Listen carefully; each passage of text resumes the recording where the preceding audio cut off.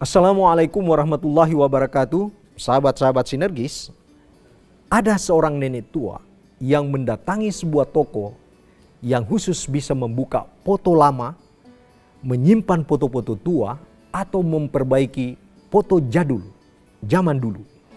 Sesampainya di toko tersebut, dia memperlihatkan sebuah foto tentang sapi dan seorang laki-laki yang sedang memeras susu dengan kepala yang terlindung oleh badan sapi tersebut.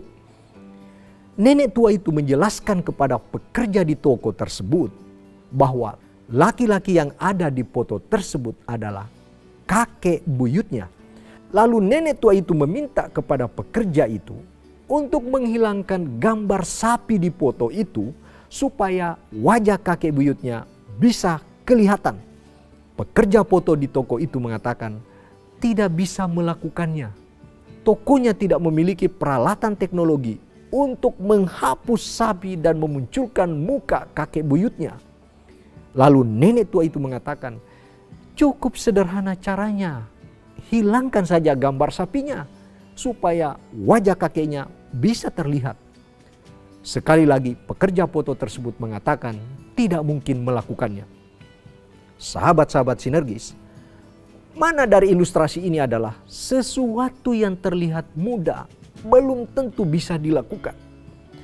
Demikian pula sebaliknya, sesuatu yang terlihat rumit, kompleks, tinggi di awan, atau unreachable bisa saja dilakukan, diwujudkan, atau dijangkau. Terkadang kita menganggap sesuatu yang kelihatannya simple, tapi sesungguhnya itu rumit. Itulah sebabnya banyak orang yang menggampangkan pekerjaan. Banyak yang mengira bahwa sederhana itu mudah.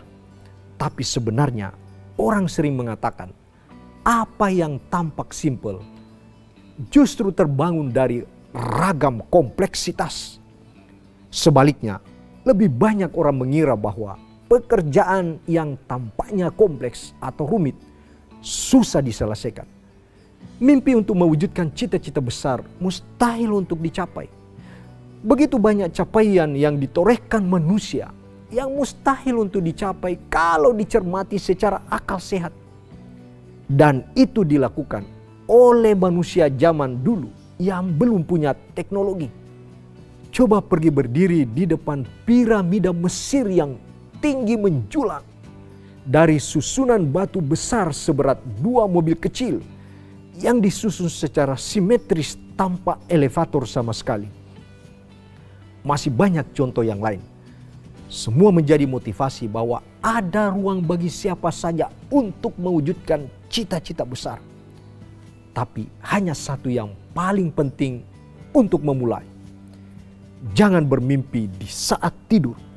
Mimpi yang membawa perubahan itu adanya di saat bangun.